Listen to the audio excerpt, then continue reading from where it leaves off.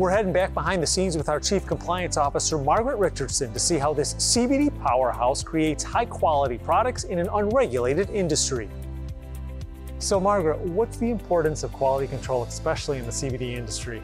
Well, quality control really ensures that we know everything about the ingredients going into the product, but also more importantly, that we can guarantee when the customer purchases that product that it meets our quality requirements, it's the potency on the label, and that is going to be safe for them to use.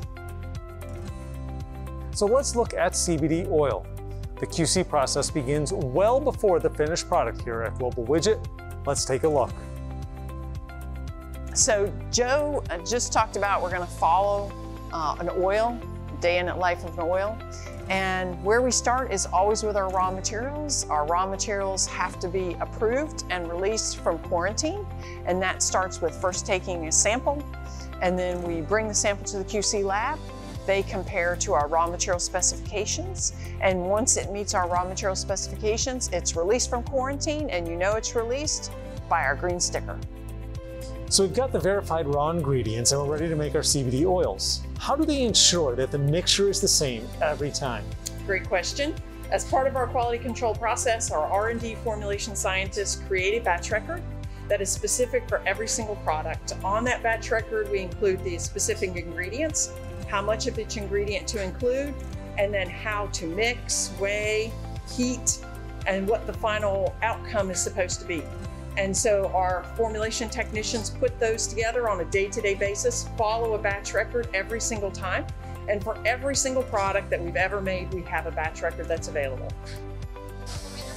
So how do we make sure that this batch of oil makes it into the right bottles? Good question. So we have our QC team that's always identifiable on our floor and they will compare the bottles, the labels that are being adhered to make sure that that batch matches the product that's going in the bottle.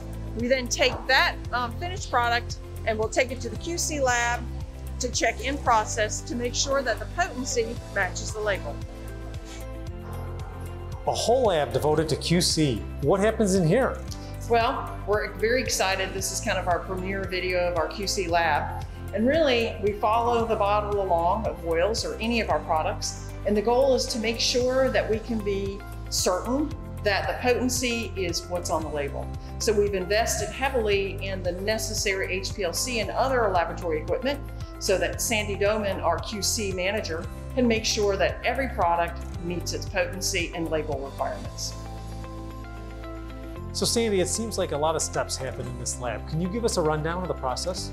Um, so basically after someone brings the product into the laboratory, that's signed in, and then we start the weighing of the product. And then we do add any necessary solvents needed to do the testing and perform homogenization, and then insert it into the HPLC for accuracy, testing the potency of the product. We have to be coming to an end of this process. What happens next? Well, you would wish so. We've gotten through quality control. Sandy has let us know that the product met its potency standards. So the next step is to hand off to quality assurance.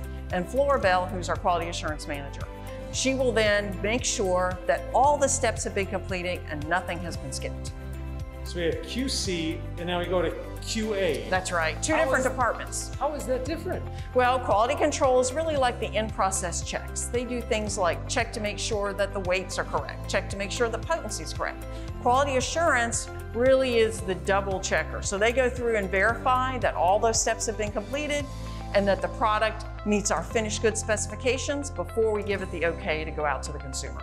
And that's what Florabelle is going to tell us That's what she's going to tell us about. So Margaret mentioned it a little bit, but Florabelle, talk to us a little bit more about the QA process. Uh, in QA, we have quality assurance technicians that spend time on the floor making sure that the processes were followed and the procedures. And we do have a batch record in which we have the compounding section and the packaging section. And we make sure that each one of the steps during the process were completed accordingly. Fascinating. So many steps for this one little bottle. Is QA the final step? We're almost there. Our last step is to make sure that every single batch has one retain put into our stability chambers. That means for every batch, every day, We take one bottle or one bottle of capsules or one bottle of gummies and we put it in the stability chamber. It'll stay there for two years. So it starts with a green sticker and ends with a green sticker, a long but meticulous process to ensure the quality, safety, effectiveness, and potency of all our products.